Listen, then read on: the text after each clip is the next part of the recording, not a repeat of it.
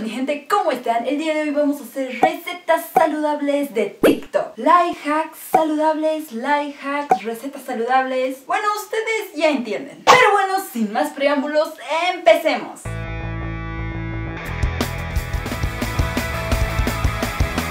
Para la primera receta vamos a necesitar 30 gramos de harina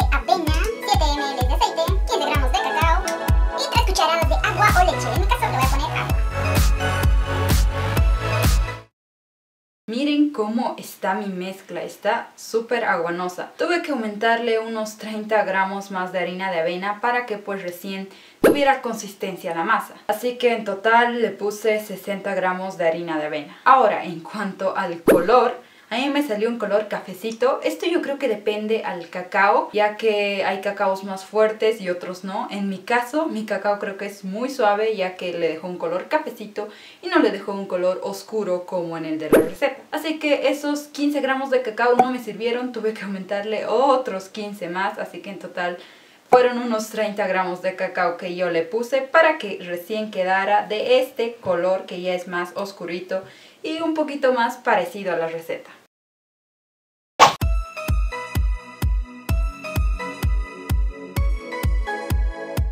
Galleta de chocolate súper saludables, una taza de avena, dos cucharadas de cacao amargo, media taza de azúcar mascabo, polvo hornear, cuatro cucharadas de aceite de coco, un huevo, rompelo ahí, revolvé, uní todo, una vez que la tenés, armalas con la mano mojada si no se te complica, llevarlas a la fuente, chip de chocolate y hornearlas por 10 minutos. Después te comiste estas tremendas. Esta otra receta le pone una taza de avena, 2 cucharadas de cacao, una media taza de azúcar, polvo para hornear, 4 cucharadas de aceite y un huevo. Mezclamos todo.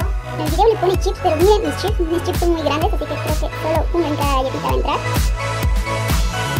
En un procesador vas a poner un huevo, un tercio de leche, media cucharadita de vainilla, un cuarto de miel, una taza de avena, un poquito de polvo de hornear. Licúas todo, lo pones en un sartén a fuego medio, le pones yogur griego por encima, granola. Para la siguiente receta vamos a utilizar un huevo, un tercio de taza de leche, media cucharilla de vainilla, un cuarto de miel, una taza de avena y por último le pone el polvo de hornear. Tapamos, mixeamos todo. Una vez mezclado bien la mezcla, le vamos a tapar.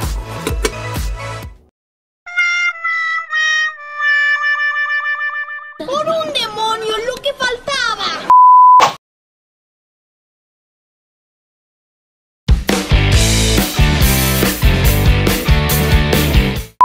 Y hasta que llegó el video del día de hoy, espero te haya gustado muchísimo. Si fue así, no te olvides de regalarme un me gusta, suscribirte al canal y activar la campanita y notificaciones para que no te pierdas ninguno de mis videos. Ya sabes que mis redes sociales las encuentras aquí abajo en la cajita de descripción. Y como siempre, los quiero mucho. Besos.